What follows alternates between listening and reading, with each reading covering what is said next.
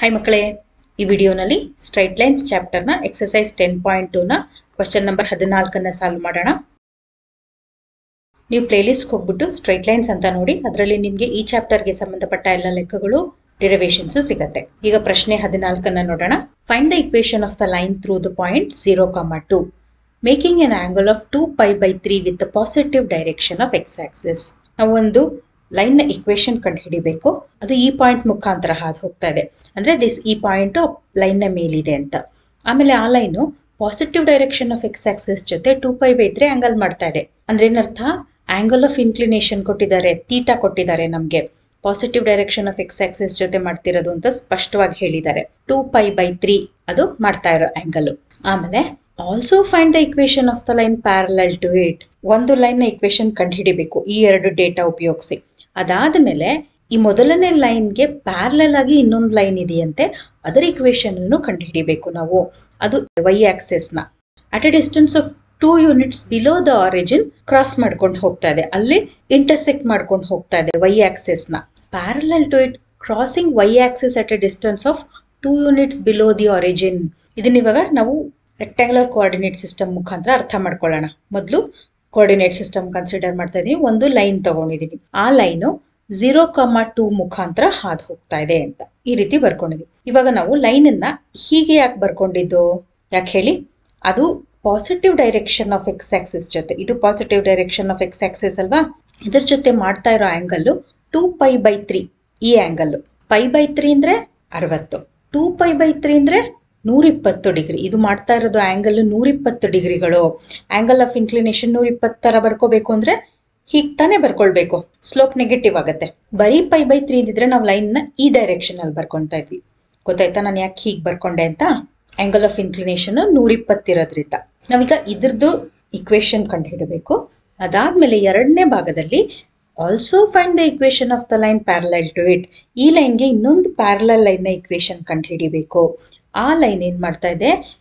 Origin ಇಂದ two units ದೂರದಲ್ಲಿ y ನ ಇಂಟರ್ಸೆಕ್ಟ್ ಮಾಡ್ಕೊಂಡು ಹೋಗ್ತಾ ಇದೆ ಇಲ್ಲಿ. ಅಂದ್ರೆ ನಮ್ಗೆ ಇಲ್ಲಿ ಇನ್ನೊಂದು ಪಾಯಿಂಟ್ ಸಿಕ್ತು. ಅದೇನಾಗತ್ತೆ? Negative direction of y axis ಅಲ್ವಾ? ಅದಕ್ಕೆ ಝೀರೋ ಕಮ ಮೈನಸ್ ಟು ಅಂತ ಬರ್ಕೊಂಡ್ವಿ ನಾವ್ ಇವಾಗ ಈ ಎರಡು ಲೈನ್ಗಳ ಇಕ್ವೇಶನ್ ಕಂಡು ಹಿಡಿಬೇಕು ಅಷ್ಟೇ. ಮತ್ತೆ ನೀವು ಎಕ್ಸಾಮ್ನಲ್ಲಿ ಡಯಾಗ್ರಾಮ್ ಬರೆದು ತೋರಿಸ್ಬೇಕಂತ ಏನಿಲ್ಲ.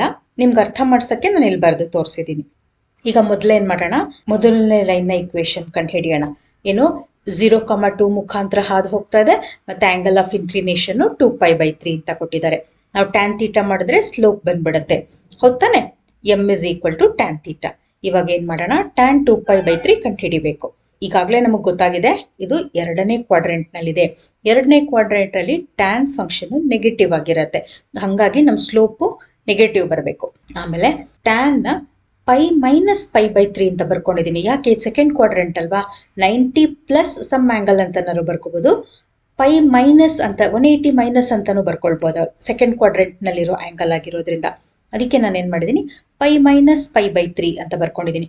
ಇದನ್ನ ಸಿಂಪ್ಲಿಫೈ ಮಾಡಿ ನೋಡಿ, ನಿಮ್ಗೆ ಇದು ಬರಬೇಕು. ನೋಡಿ three pi minus pi two pi ತಾನೆ? ಟೂ ಪೈ ಬೈ ತ್ರೀ ಇದೇ ಬರಬೇಕು. ಆ ರೀತಿ ಬರ್ಕೊಂಡಿದ್ದೀನಿ. ಮತ್ತೆ ರೇಡಿಯನ್ಸ್ ಅಲ್ಲಿ ಮಾಡೋದು ನಿಮಗೆ ಕಷ್ಟ ಆದ್ರೆ ಡಿಗ್ರಿ ಕನ್ವರ್ಟ್ ಮಾಡಿಕೊಂಡು ಮಾಡಿ, ಆದ್ರೆ ನೀವು ರೇಡಿಯನ್ಸ್ ಅಲ್ಲಿ ಮಾಡೋದನ್ನು ಕಲ್ತಿರಬೇಕು. ಅದು ತುಂಬಾ ಮುಖ್ಯ ಆಗುತ್ತೆ. ನಿಮಗೆ ಸೆಕೆಂಡ್ ಪಿ ಯು ಸಿನಲ್ಲಿ ನಲ್ಲಿ ರೇಡಿಯನ್ಸ್ ಅಲ್ಲಿ ಮಾಡೋದು ಸುಮಾರು ಸಂದರ್ಭಗಳು ಬರುತ್ತೆ. ಅದಕ್ಕೆ ನೀವು ರೇಡಿಯನ್ಸ್ ಅಲ್ಲಿ ಮಾಡೋದನ್ನು ಕಲ್ತ್ಕೊಳ್ಬೇಕು.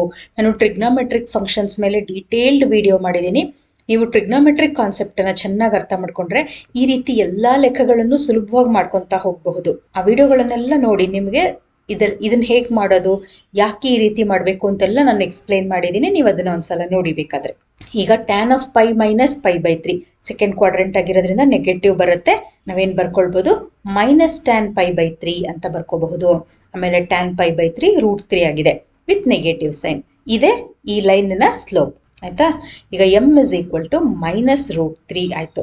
ಲೈನ್ ದ ಸ್ಲೋಪ್ ಗೊತ್ತಿದೆ. ಅದ್ರ ಮೇಲಿನ ಒಂದು ಪಾಯಿಂಟ್ ಗೊತ್ತಿದೆ. ನಾವೇನು ಮಾಡ್ಬೋದು ತಕ್ಷಣ? ಪಾಯಿಂಟ್ ಸ್ಲೋಪ್ ಫಾರ್ಮ್ ಹಾಕ್ಬೋದಲ್ವಾ? ಅದೇನು? Y minus y naught is equal to m into x minus x naught ಈ ಪಾಯಿಂಟ್ ಸ್ಲೋಪ್ ಫಾರ್ಮ್ಗೆ ಈ ಪಾಯಿಂಟ್ ಮತ್ತೆ ಸ್ಲೋಪ್ ಅನ್ನ ಸಬ್ಸ್ಟಿಟ್ಯೂಟ್ ಮಾಡಿದ್ರೆ y minus y naught y minus two equal to minus root three slope into x minus zero simplify ಮಾಡೋಣ. Y minus two is equal to minus root three x ಇದನ್ನ rearrange ಮಾಡಿ. A x plus b y plus equal to zero form ಅಲ್ಲಿ ಬರೆದ್ರೆ root three x plus y minus two equal to zero ಅಂತ ಬಂತು. ಈಗ ಮೊದಲನೇ ಲೈನ್ನ equation ಕಂಡು ಹಿಡ್ತಾ ಇತ್ತು. ಈಗ ನಾವು ಎರಡನೇ ಲೈನ್ ಇಕ್ವೇಶನ್ ಕಂಡು ಹಿಡಿಬೇಕು ಈ ಲೈನು ನಮ್ಗೆ ಅವ್ರು ಸ್ಪಷ್ಟವಾಗಿ ಕೊಟ್ಟಿದ್ದಾರೆ ಪ್ಯಾರಲಲ್ ಟು ದಿ ಲೈನ್ ಈ ಲೈನ್ಗೆ ಪ್ಯಾರಲಲ್ ಆಗಿದೆ ಅಂತ. ನಮಗೊಂದು ಮುಖ್ಯವಾದ ಕಂಡೀಷನ್ ಗೊತ್ತು. ಎರಡು ಲೈನ್ಗಳು ಪ್ಯಾರಲಲ್ ಆಗಿದ್ರೆ ಅದರದ್ದು angle of inclination with positive direction of x axis same ಇರುತ್ತೆ. ಅವಾಗ ಏನಾಗುತ್ತೆ? ಅದ್ರ ಸ್ಲೋಪ್ ಕೂಡ ಸೇಮ್ ಆಗುತ್ತೆ. ಅದಕ್ಕೆ ಇವಾಗ ಈ ಲೈನ್ದು ಸ್ಲೋಪ್ ಏನಿತ್ತಲ್ಲ, ಅದೇ ಲೈನ್ ಟೂನ ಸ್ಲೋಪ್ ಕೂಡ ಆಗತ್ತೆ. ಇವಾಗ ಒಂದು ಪಾಯಿಂಟ್ ಸಹ ಗೊತ್ತು ಝೀರೋ ಕಾಮ ಮೈನಸ್ ಟು ಅಂತ ಇಲ್ಲಿ ಹೇಳಿದ್ರಲ್ಲ, ಇದರಿಂದ ವೈ ನ ಬಿಲೋ ಆರಿಜಿನ್ ಅದು ಎರಡು ಯೂನಿಟ್ಗಳ ದೂರದಲ್ಲಿ ಇಂಟರ್ಸೆಕ್ಟ್ ಮಾಡ್ಕೊಂಡು ಹೋಗ್ತಾ ಇದೆ ಅಂತ, ಅದಕ್ಕೆ ನಮ್ಗೆ ಈ ಪಾಯಿಂಟ್ ಸಿಕ್ತು. ಸ್ಲೋಪ್ ಕೂಡ ಗೊತ್ತು. ಈಗಷ್ಟೇ ಕಂಡು ಹಿಡಿದ್ವಲ್ಲ? ಎರಡು ಪ್ಯಾರಲಲ್ ಲೈನ್ಗಳ ಸ್ಲೋಪ್ ಸೇಮ್ ಆಗಿರುತ್ತೆ ಅನ್ನೋ ಕಾನ್ಸೆಪ್ಟ್ ಅನ್ನು ಉಪಯೋಗಿಸಿ ಇವಾಗ ನಾವು ಈ ಲೈನ್ನ ಇಕ್ವೇಶನ್ ಕಂಡು ಹಿಡಿಯೋಣ ಮತ್ತೆ point slope form of equation of the ಲೈನ್ನೇ ಹಾಕ್ತೀವಿ. ಸಬ್ಸ್ಟಿಟ್ಯೂಟ್ ಮಾಡಿದ್ರೆ ಆಯ್ತು. ಪಾಯಿಂಟ್ ಏನು? Zero comma minus two slope m is equal to minus root three ಈಗ ಇಕ್ವೇಶನ್ ಸಬ್ಸ್ಟಿಟ್ಯೂಟ್ ಮಾಡಿದ್ರೆ y minus of minus two ಇದು ಮೈನಸ್ ಟು ಇಲ್ಲಿ. Equal to slope minus root three into x minus zero simplify ಮಾಡಿದ್ರೆ y plus two is equal to minus root three x ಆಯಿತು. Rearrange ಮಾಡಿ a x plus b y plus equal to zero ಫಾರ್ಮಲ್ಲಿ ಬರೆದ್ರೆ root three x plus y plus two equal to zero ಇದು equation of the line ಎರಡೂ ಲೈನ್ಗಳ ಇಕ್ವೇಶನ್ನ ಕಂಡು ಹಿಡಿದಿದ್ದೀವಿ ನೋಡಿ ಎರಡು ಪ್ಯಾರಲಲ್ ಲೈನ್ಗಳಂದ್ರೆ ನಮ್ಗೆ ಇಲ್ಲಿ ಏನು ಕಾನ್ಸ್ಟೆಂಟ್ ಸಿ ಇರುತ್ತಲ್ಲ, ಅದರಲ್ಲಿ ಮಾತ್ರ ಬದಲಾವಣೆ ಇರುತ್ತೆ. ಎಕ್ಸ್ ಮತ್ತೆ ವೈ ಟರ್ಮ್ಗಳು ಸೇಮ್ ಇರುತ್ತೆ. ಯಾಕೆ? ಅವೆರಡು ಪ್ಯಾರಲಲ್ ಲೈನ್ಗಳಾಗಿರೋದ್ರಿಂದ ಇಕ್ವೇಶನ್ ಆಫ್ ದ ಲೈನ್ ಅದೇ ರೀತಿ ಇರುತ್ತೆ. ಇದು ಮಾತ್ರ ಬದಲಾಗತ್ತೆ. ನೀವು ಗಮನಿಸಿ. ಗೊತ್ತಾಯ್ತಲ್ಲ ಮಕ್ಕಳೇ ಈ ಲೆಕ್ಕ ತುಂಬಾ ಸುಲಭ ಇದೆ. ನಿಮ್ಗೆ ಇನ್ನೂ ಏನಾದರೂ ಅನುಮಾನ ಇದ್ರೆ ನಂಗೆ ಕಮೆಂಟ್ ಮಾಡಿ ಹೇಳಿ.